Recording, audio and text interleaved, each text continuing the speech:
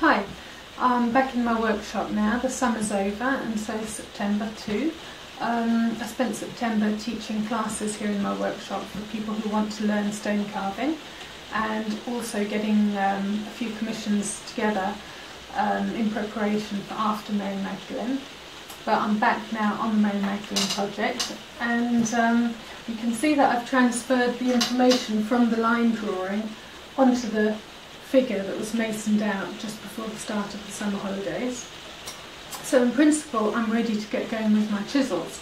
But just before I did that I wanted to make a close-up of Mary Magdalene's face because I just did a little vague approximation at this size but because her expression is so important to the overall um, sense of the, the completed sculpture, I wanted to make sure that I really had the mood right um, before I started carving in stone. So here's my um, model here.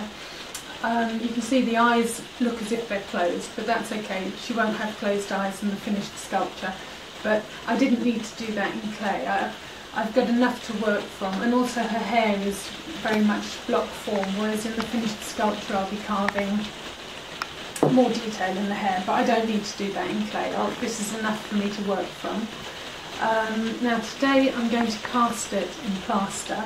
Um, that's because as you know the, the clay dries out and cracks so it's important to preserve the features before that happens.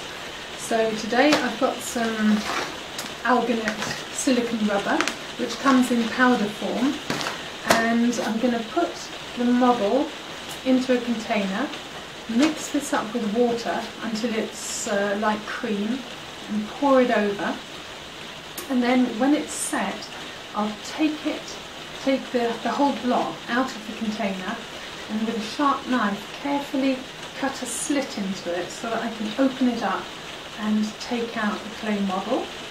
Then I'll put it back in very carefully and into the hole that's left by the uh, from when I've taken out the clay model I'm going to pour some wet plaster and then after a few hours when the plaster's dry I'll peel off the silicon rubber and hopefully have a perfect copy of my clay maquette.